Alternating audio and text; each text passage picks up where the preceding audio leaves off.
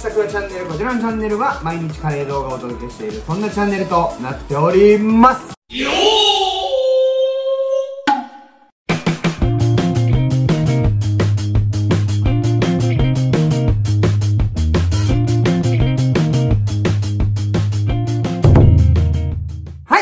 日はですね、ラホール秋葉原店さんに行ってまいりました。こちらのお店は、御徒町店を以前、えー、ご紹介させていただいたんですけども、えー、ブラックカレーですね。あの、キリッと辛めのブラックカレーがあるんですけども、あちら、普通に辛さの表示的に、え、ブラックカレーは5辛だと。で、プラス辛さはできるんですけども、今回その、えブラックカレーにプラス5辛ですね。つまり合計10から倍の辛さにしていただくとどうなのかということで本日いただいてきましたんでご覧ください。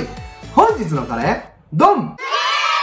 こちらがラホールさんのカレーのメニュー表。インド風カレー日本風カレーとありインド風カレーの方で10種類。日本風カレーの方で9種類。それぞれ辛さを選べて5辛以上がブラックカレーとなります。その他定食やステーキハンバーグのメニューも豊富にありトッピング日替わり定食まであります。初めに出てきたサラダを食べながら待ちます。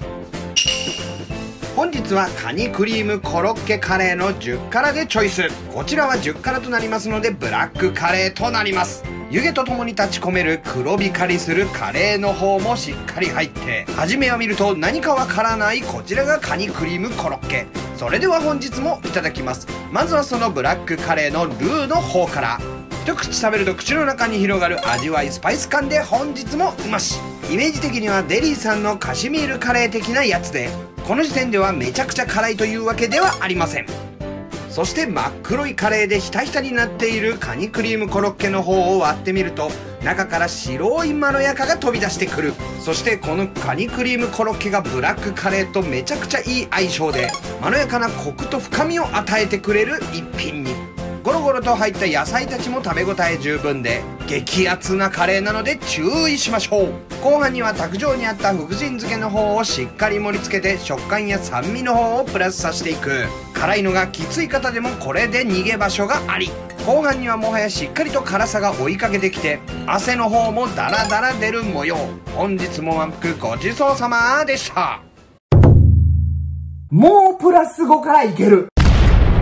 結構食べてて、まあ、ブラックカレー以前いただいた時もしっかりと辛さも感じれるんですけども、今回またプラス5辛ということで、今回は食べててもかなりじんわり汗も流れてくる辛さ。ただ口の中にヒリヒリというよりかは後からじんわりくる感じでどんどんボディーブローのように効いてくるそんな辛さでございました今回カニクリコロ家のカレーいただいたんですけどもこ